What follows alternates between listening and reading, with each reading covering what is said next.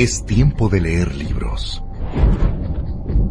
Es tiempo de la narración. A continuación, Nocturna. De Guillermo del Toro y Chuck Hogan. Publicado por editorial Suma de Letras.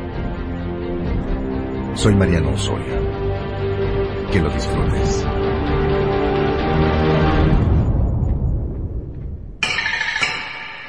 Préstamos y curiosidades Niker Booker, calle 118, Harlem Latino.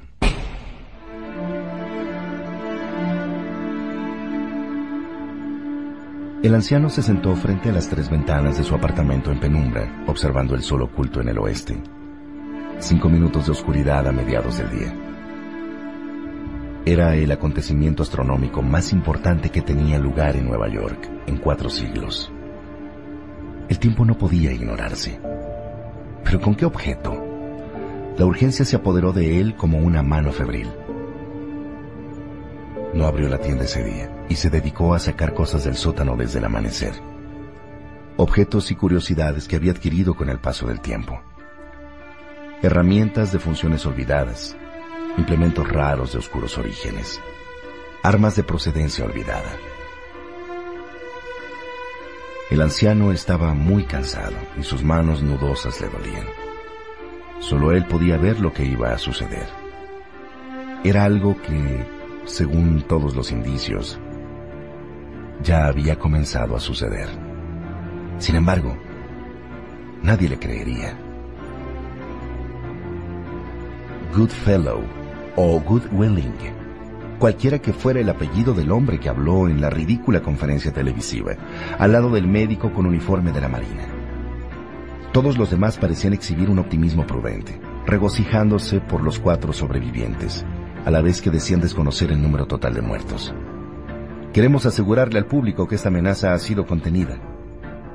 Solo un funcionario público se atrevería a declarar que algo semejante ya había concluido y que no suponía ningún riesgo, sin saber siquiera de qué se trataba. El hombre que estaba detrás de los micrófonos era el único que parecía saber algo más sobre aquella aeronave defectuosa y llena de pasajeros muertos. Good, eh, Goodwater.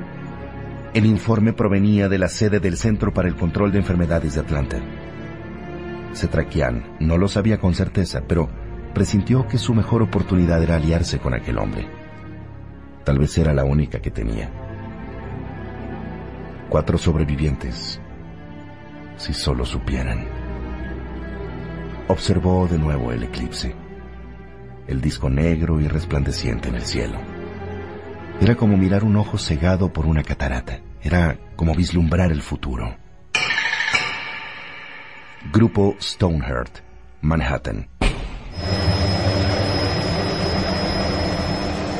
El helicóptero aterrizó en el helipuerto de la sede del grupo Stoneheart en Manhattan, un edificio de acero y cristales oscuros en el corazón de Wall Street. Los últimos tres pisos estaban ocupados por la residencia privada de Elrich Palmer en Nueva York. Un lujoso ático con pisos de color ónix, codiciadas esculturas y paredes adornadas con cuadros dignos de un museo. Palmer se sentó en el salón de medios audiovisuales con las cortinas cerradas mientras observaba en su enorme pantalla el resplandeciente globo ocular negro, cuyos bordes centellaban con un carmesí furibundo, rodeado de un blanco encendido. Este salón, como su casa de Dark Harbor y la cabina de su helicóptero médico, también tenía una temperatura constante de 17 grados. Podría haber salido a la terraza para observar el ocultamiento. A fin de cuentas, el clima estaba lo suficientemente fresco. Pero la tecnología lo acercó a este suceso. No a la sombra proyectada, sino a la imagen del sol subordinado a la luna, que era el preludio de la devastación. Su estadía en Manhattan sería breve. La ciudad de Nueva York no le parecía lo suficientemente agradable como para pasar mucho tiempo allí.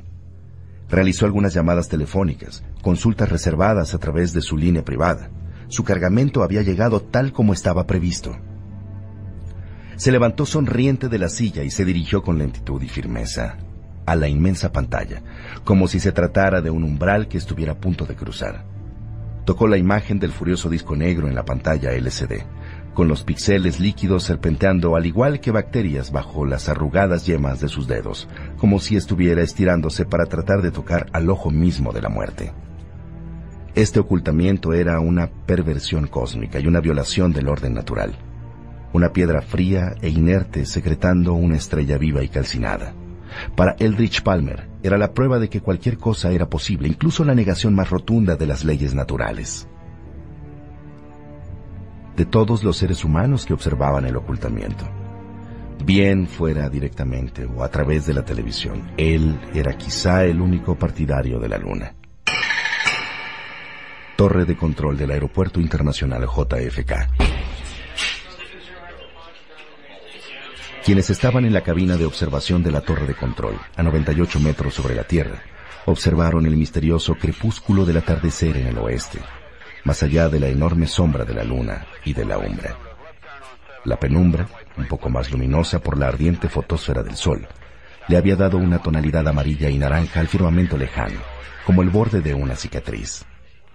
Esa columna de luz, sumergida en la oscuridad desde hacía exactamente cuatro minutos y treinta segundos, avanzaba sobre la ciudad de Nueva York. Pónganse los lentes, fue la orden, y Jim Kent se puso los suyos, ansioso por ver de nuevo la luz solar. Miró a su alrededor en busca de Eve. Todos los participantes de la conferencia de prensa, incluyendo al gobernador y al alcalde, habían sido invitados a la torre para observar el evento. Y como no lo vio, concluyó que había regresado al hangar de mantenimiento. De hecho, Ep había utilizado su descanso obligatorio de la mejor manera posible, revisando varios planos y catálogos del Boeing 777. El fin de la totalidad. El final se vio marcado por un fenómeno extraordinario. Protuberancias radiantes de luz afloraron en el costado occidental de la luna, mezclándose en un solo rayo luminoso que producía el efecto de un diamante montado sobre un anillo de plata. Pero el precio de tanto esplendor, a pesar de la vigorosa campaña cívica para el cuidado ocular durante el ocultamiento, fue que más de 270 personas, 93 de las cuales eran niños, quedaron ciegas de por vida tras observar la dramática reaparición del sol sin la debida protección. La retina no tiene sensores para medir el dolor, y los afectados se dieron cuenta de que se habían lastimado los ojos cuando ya era demasiado tarde. El anillo de diamante se expandió lentamente y se convirtió en un grupo de joyas conocido como las cuentas de Bailey, las cuales se fundieron con la media luna del sol y básicamente empujaron a la luna fuera de su camino. En la tierra se vieron de nuevo las sombras, proyectadas débilmente sobre el suelo como espíritus inaugurales anunciando el paso de una forma de existencia a otra. A medida que la luz natural comenzó a aparecer de nuevo, el relieve humano en la tierra adquirió destellos épicos. Hubo un estallido de aclamaciones, abrazos y aplausos espontáneos. Las bocinas de los automóviles sonaron por toda la ciudad y la voz de los miles de asistentes al estadio de los Yankees era abrumadora. 90 minutos después, la luna se había retirado definitivamente de la trayectoria del Sol y el ocultamiento había terminado. En realidad, nada había sucedido, nada había alterado o afectado el firmamento. Nada en la Tierra había cambiado más que unos minutos de sombra vespertina a lo largo del noreste de Estados Unidos. En Nueva York, los espectadores recogieron sus cosas como si un espectáculo de fuegos artificiales hubiera terminado y aquellos que tenían que concluir reemplazaron la inquietud inspirada por el oscurecimiento, por el fastidio que les causaba la anticipación del tráfico que los esperaba. Un fenómeno astronómico excepcional había provocado asombro y ansiedad en los habitantes de los cinco condados de la ciudad, pero esto era Nueva York. Y una vez que el evento concluyó, sus habitantes automáticamente dirigieron su atención a otras cosas. Sin saber, por supuesto, que algo terrible y mortífero acababa de comenzar. Hasta aquí, el capítulo de Nocturna de Guillermo del Toro y Chuck Hogan, publicado por editorial Suma de Letras. Por tu atención y compañía, gracias. Soy Mariano Osorio. Hasta el próximo de la serie.